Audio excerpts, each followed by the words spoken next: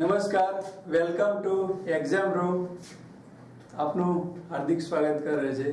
મિત્રો, આજે આપણે ગુજરાતી વ્યાકરણ વિશે જોઈશું. ગુજરાતી વ્યાકરણની અંદર ઘણા બધા ટોપિકો એવા છે કે એકદમ લાગતા સરળ હોય, પણ એ સરળ હોતા નથી, પણ એને સમજથી સરળ બને છે.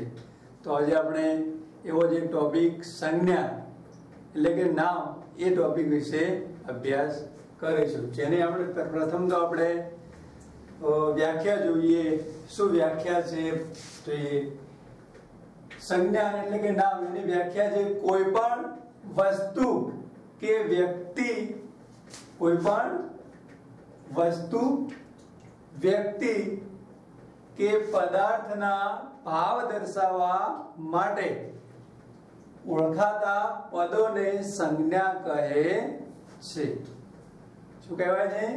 કોઈ પણ વસ્તુ કે વ્યક્તિ અથવા પદાર્થના ભાવને દર્શાવવા માટે જે ઓળખાતા પદો હોય છે એને સંજ્ઞા એટલે કે નામ કહે છે. તો આવી સંજ્ઞાના પાંચ પ્રકાર છે.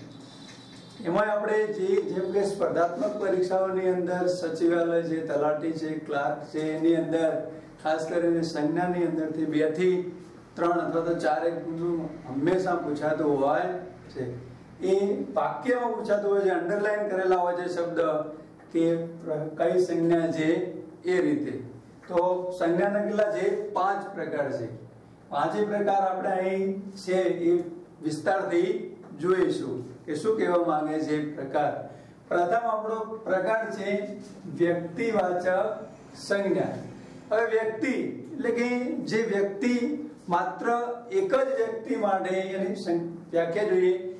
જે સંજ્ઞા એક જ વ્યક્તિ, માત્ર ને માત્ર એક જ વ્યક્તિ માટે જે ઓળખાતા પદ છે, તેને વ્યક્તિવાચક સંજ્ઞા કહીએ છીએ.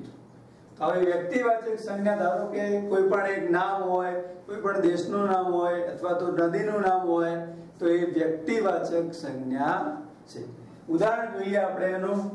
તો કિરીટભાઈ, ધારો કે કિરીટભાઈ જે વ્યક્તિ છે અને એમનું એ નામ છે, એટલે કિરીટભાઈ એ વ્યક્તિવાચક સંજ્ઞા બની કહેવાય. પછી અમેરિકા એ દેશ છે, એક જ અમેરિકા એનું એક જ નામ છે, એટલે એ પણ એક વ્યક્તિવાચક સંજ્ઞા છે. એવી રીતે આપણા ભારત ભારત નામ છે એ પણ એક જ છે, તો તે વ્યક્તિવાચક સંજ્ઞા થઈ કહેવાય એવી રીતે તાપી. આ પણ એક જ નામ છે, એટલે એક જ કોઈ પણ એક જ નામ હોય, તેને શું કહેવાય છે? વ્યક્તિવાચક સંજ્ઞા.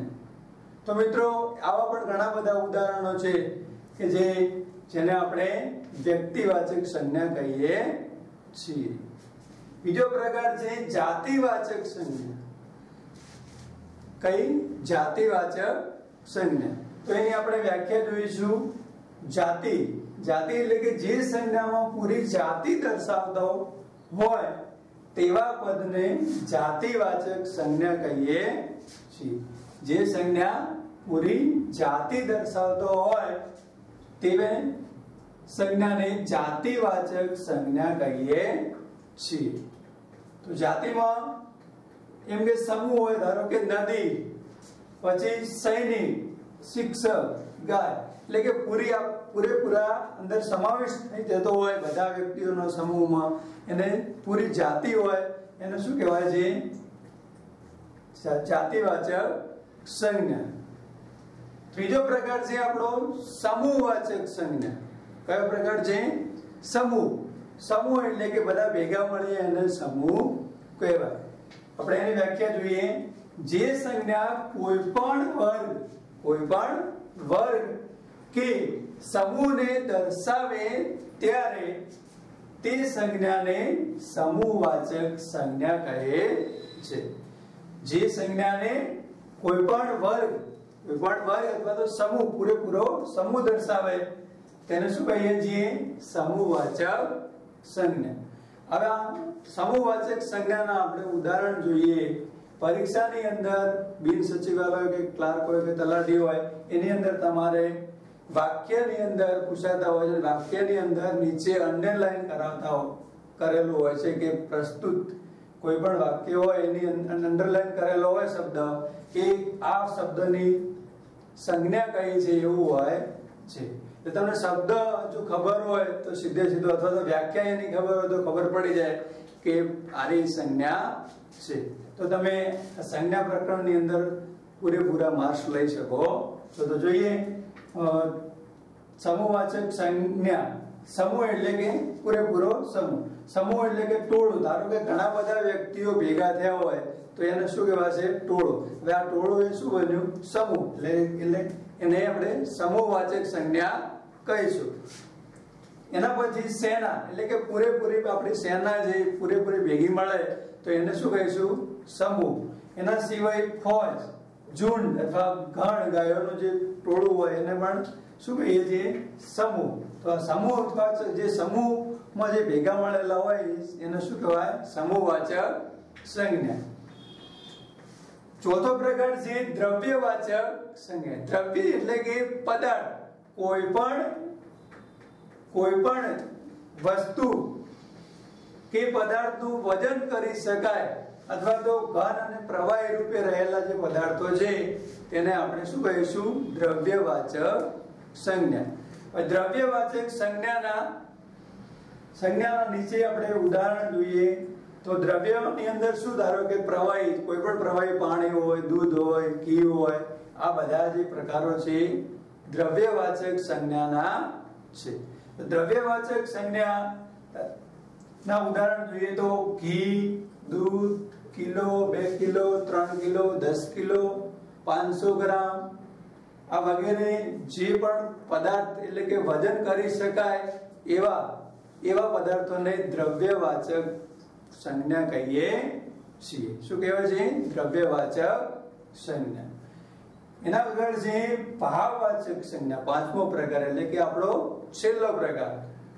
ભાવવાચક જે માત્ર વ્યક્તિના ભાવ દર્શાવતો હોય કે રૂપ અને રંગ અથવા તો આકાર આકાર આ બધું નહીં, પણ એનો જ કોઈ પણ શું ભાવ છે, એ ભાવ દર્શાવવા માટે ભાવ પાછળ સંજ્ઞા વપરાય છે. દાખલા તરીકે તમે જે કોઈ પણ કામ કરો છો, કામ, ઉદાહરણ તરીકે પછી સેવા, એના સિવાય પછી કોઈ પણ તમારો જે ભાવ દર્શાવતો હોય એને ભાવવાચક સંજ્ઞા કહેવાય છે.